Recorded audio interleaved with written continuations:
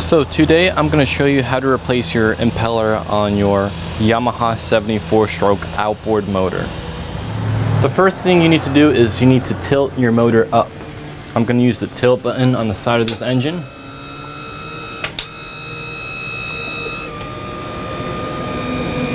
Tilting the motor up will allow us to easily work on this engine and uh, removing the lower unit will be a lot easier. So our next step is to remove the lower unit to access the impeller and it's going to have a fresh impeller so it has a good solid stream coming out of the engine so the engine is cool when running.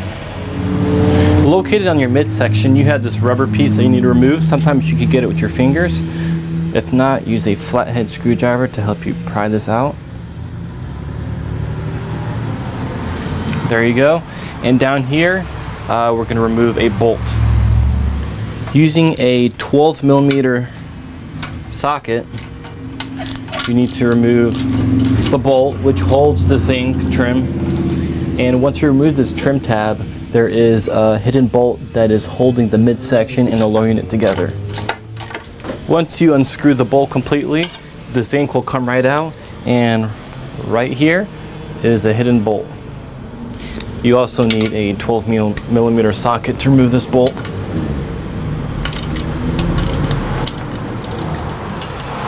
And here is the bolt. There you go. So the next step is getting a 14 millimeter wrench and removing all these bolts. There are one, two, two on one side and two on the other side. So four in total that you need to remove.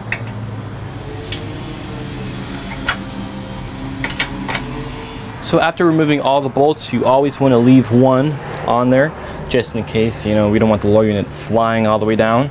Uh, you want to tap it.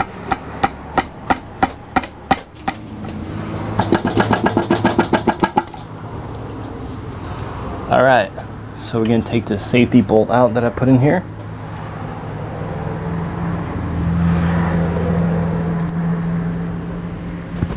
Put that to the side and you want to lower it down and do not lower it all the way down because you have your speedo tube right here that we have to disconnect. So right now what I'm doing is I'm going back and forth with my pliers to loosen up the tube and that will make it to come free just like that. Now slide the lower unit right out of the engine.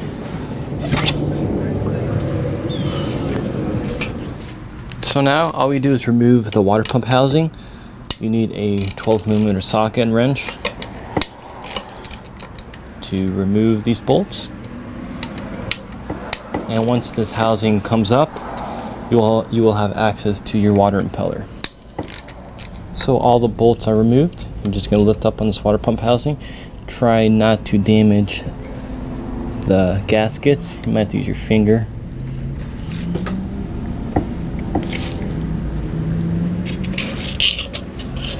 like that, you are exposed to your impeller. So now all you need is a flathead and all you have to do is pry the impeller out. There we go. Uh, make sure you watch your uh, key shaft right here. It's a Woodruff key. Um, you do not want to lose that because you need that for your impeller to spin. For comparisons, here's the new one versus the old one. You can see, these fins are straight, that's how it's supposed to be, and you really don't want the fins to be bent like that because that will reduce the pumping of the water going through your engine. So to install this, you want to make sure that the notch right here, that's for your uh, Woodruff key, to slide in there, that has to be going down. So I'm going to slide this over the shaft onto here and you want to line up the impeller with that notch. This is very important.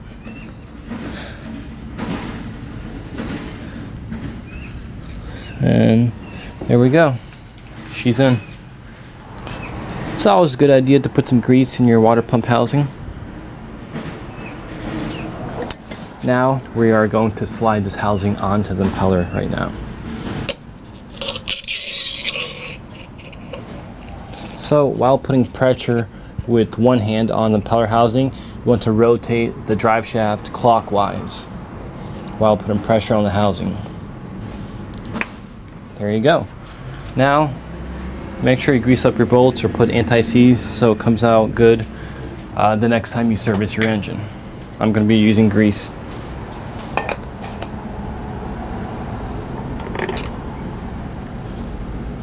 Before reassembling this lower unit, get some grease, put it at the end of the drive shaft because I've seen sometimes that the drive shaft could actually lock into your power head if you don't grease up the splines. So we are going to put the lower unit back onto the engine.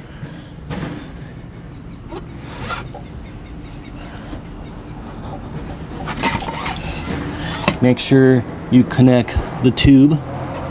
Don't forget that. That is to use your speedometer.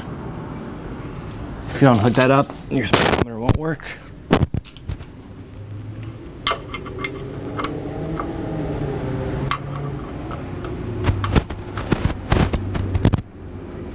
And we're just gonna line things up. If you're lucky, it's gonna slide in like that onto your engine.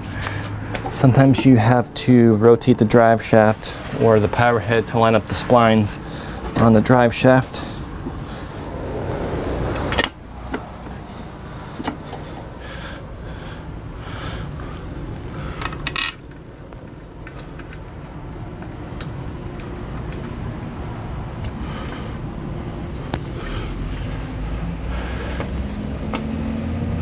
When assembling the lower unit, you want to make sure that you do grease up your bolts or you put some anti-seize on it.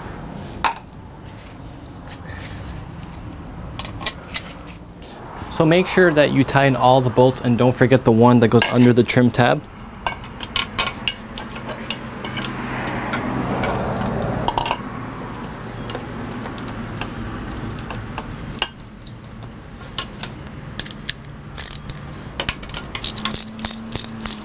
So with this service, I'm going to be installing a new zinc because the old one, it did have some corrosion on it and it's a cheap replacement and makes your motor look a lot better than having corroded zincs on your engine.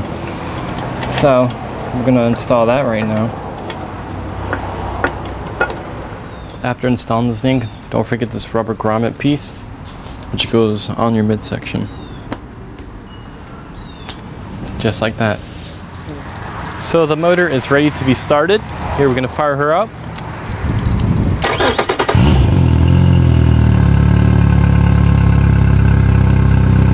First thing we saw is the impeller kick in. It's pumping great water.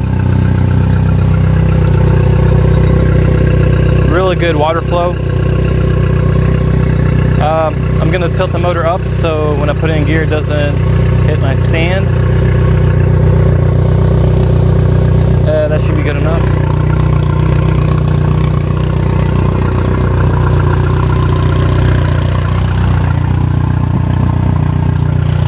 Here I'm going to put the motor into forward first.